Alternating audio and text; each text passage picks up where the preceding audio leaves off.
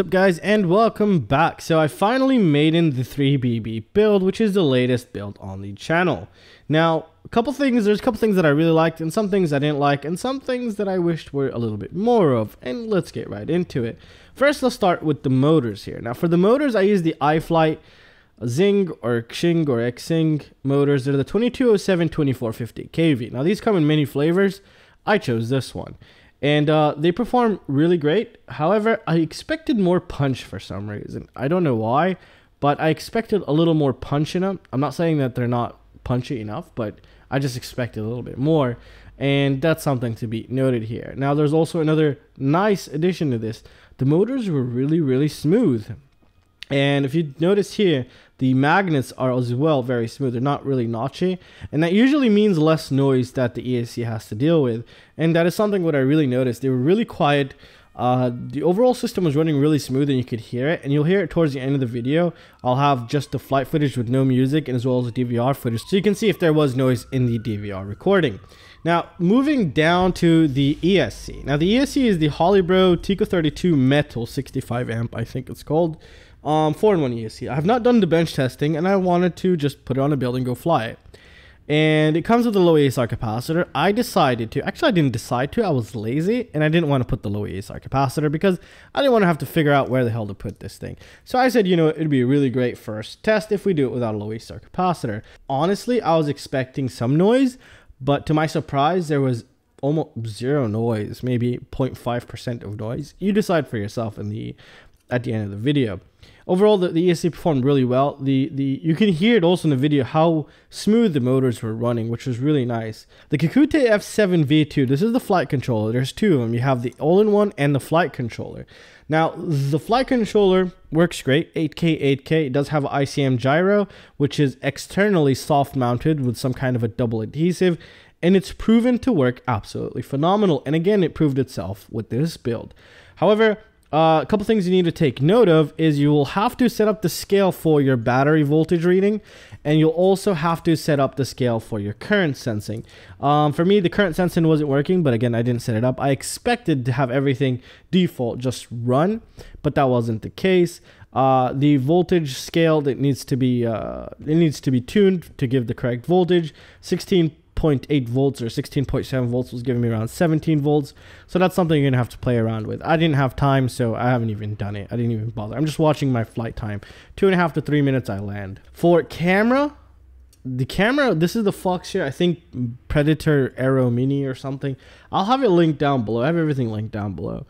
It was not. It, I just didn't like it. Um, and why didn't I like it? First of all, it does have a really big lens and it does have a pretty large field of view. Now, that wasn't really a big issue. I, I can quickly adapt to different fields of view, but the quality wasn't that great. I mean, I've been flying a lot of cameras lately and this one just didn't cut it for me. I, I really did not like the camera. But again, this is a personal preference. I didn't like the quality. I didn't like the colors, uh, especially in the type of day that I, I, was flying in. So that's something to take note of here. Uh, the ATLATL V2, I had a slight issue with. It's not really an issue, but I think it's more of a noob mistake in a way.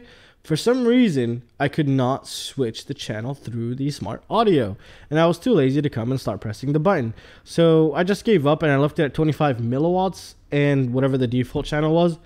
But to my surprise, even at 25 milliwatts, I was getting farther than a lot of other VTXs at 25 milliwatts. So that was something really nice. And then again, this antenna was sent to me by uh, Banggood.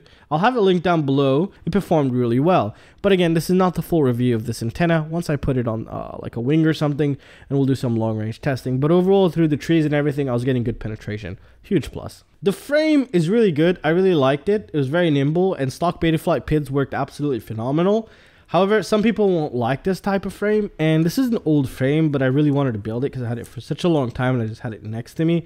Some people won't like this frame for a couple reasons. There's no camera protection, some people don't like that, and also this is a bottom mount uh, uh, frame here. Now, I personally also like top mount frames. When I look at all my quads, they're mostly bottom mount frames. This frame worked out really great because as you can tell, all of its weight is just right in the middle so it has really good center of gravity, and um, the CG on this is just possibly always almost spot on. So maybe that's why I had such a good performing quadcopter, other than flashing the latest be it Betaflight and having the Kakute F7 with the ICM gyro.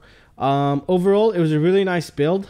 Uh, I will be doing session updates every time I take this out, just to see how it performs and if anything goes wrong with it, if a motor goes bad, how well it survived crashes. But one thing I will definitely change, I really did like this quadcopter, is the camera. I will definitely change the camera to something else. I think I'll change it to something like an FXT camera because those cameras have been proven in latency absolutely phenomenal. And not only the latency, the quality is superb on those. So yeah, I'm planning on switching the camera to an FXT camera here. And well, that's it guys. So I'm going to leave you with the footage now. Uh, it's going to be just one of the flights with the DVR, no music, so you can hear everything and see everything for yourself. I'll probably put the first maiden flight in there. I was taking it easy just to see how everything was performing before going crazy and ruining it. And, well, that's it, guys. I'll have everything linked down below if you could check those out. Those greatly support the channel. And I'll see you in the next one. Peace out, guys.